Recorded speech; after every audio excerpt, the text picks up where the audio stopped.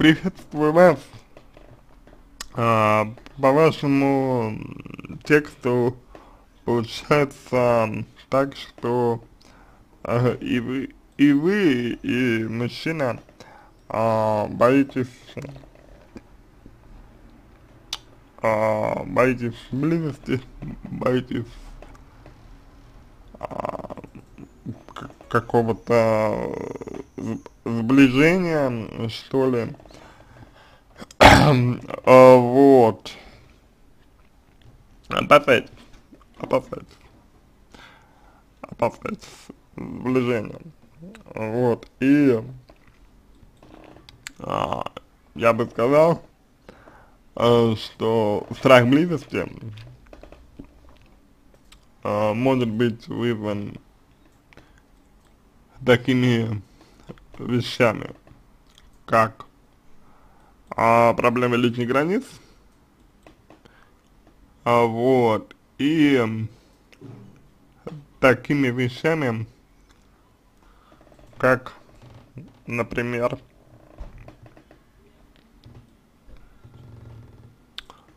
э, страхом э, повторения, ну, знаете, какого-то такого негативного опыта, скажем так, вот, понимаете, как, какая штука. Вот. Так что здесь, а здесь, на мой взгляд, нужно смотреть вот в эту сторону, а, в сторону того, чего вы, например, боитесь, вот, чего вы можете, например, бояться. И, соответственно, уже дальше решать. Um,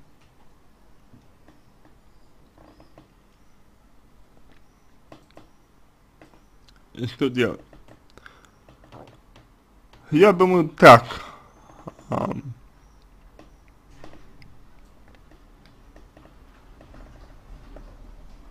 я думаю, в таком направлении можно действовать.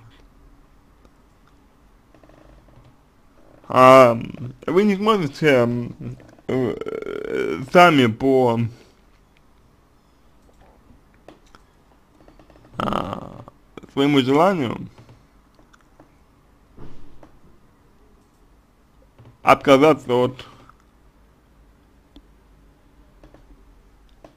надежды какой-либо. Это невозможно. Но с причинами надежды, то есть вот, как, как надежда стала возможной, на что вы надеетесь конкретно. И чего вы хотите конкретно. Вот с этим, с этим можно поработать.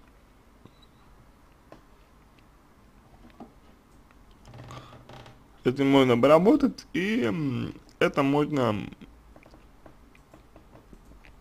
а, поисследовать чтобы вам было самой ком комфортнее, удобнее, сп спокойнее, вот. Ну и чтобы вы знали, в какую сторону вам идти. И разобравшись в себе, я думаю, вы совершенно спокойно сможете решить, хотите ли вы дел делать шаги навстречу человеку или не хотите. А если хотите, то какого плана это шаги? Ну, то есть, в каком направлении вы хотите а, делать да? В какой форме, как вы хотите делать э, шаги. Вот. Это мне кажется важным. Но если мужчина боится действительно сближения, боится ответственности, например, допустим, из-за того, что у вас ребенок, то это, конечно, может послужить для определенной проблемы. Но и у вас есть, э, скажем так, неко не некоторая сложность в том, что вы э, стали мамой в 20 лет, и что с первым мужчиной, с отцом ребенка, а у вас отношения, ну, не сложились. Почему-то, да? Поэтому, на мой взгляд, э, здесь, э, по крайней мере, вот э, с этими моментами тоже нужно разобраться. Потому как может быть у вас э, негативный сценарий, который мотивирует вас на то, чтобы э, вступать в отношения, ну, в которых, э, которые ничего вам не дают, в которых у вас ничего не получается. Вот, потому что, ну, ребенок, это, как я уже сказал, да, ну, вот, в возрасте 20 лет, а, как правило, думать все же нужно о другом, да, не о ребенке. Это не обвинение, ни в коем случае, э, ни в коем случае не обвинение. Это а, просто вот констатация факта. Поэтому работать нужно с вашими желаниями, понять, а, что, что вы хотите. Потому что, ну, мужчина объективно вам мой, ну, ну, может не оправдать просто ваши, ваши ожидания. Вот. Не потому что он плохой, да, а вот просто в силу того, что он человек, и у него могут быть ну, свои, свои какие-то представления, знаете, вот. Значит, что меня настораживает, настораживает немного, немного. А, во-первых, меня настораживает а, э, история про типаж. Меня, меня настораживает, потому что,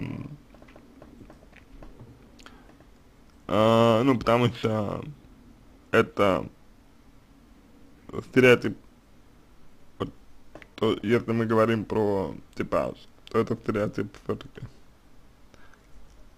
А мне настораживает то, что вы говорите «мы». То есть вы говорите именно про то, что вот, а, что мы понимаем, мы понимаем, да, не я понимаю, или он понимает, а мы понимаем. Вот, меня это настораживает. Потому что мы это э, всегда такой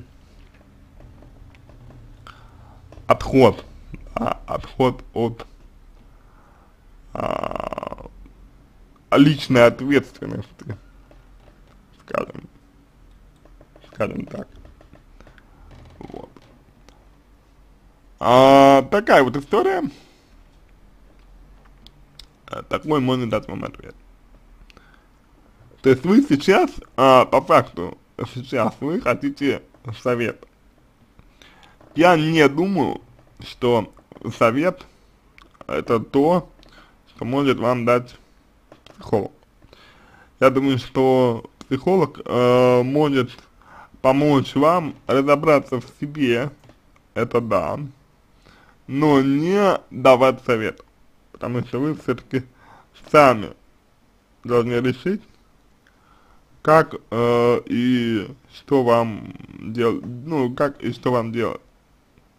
Мне кажется, это, в общем-то, справедливо. На этом все. Я надеюсь, что помог вам. А если понравился мой ответ, буду благодарен за его оценку в качестве лучшего. А я вам а, желаю всего а, самого доброго, удачи и надеюсь, что э, ситуация э, самым лучшим образом ваша разрешится. Я, я желаю вам удачи.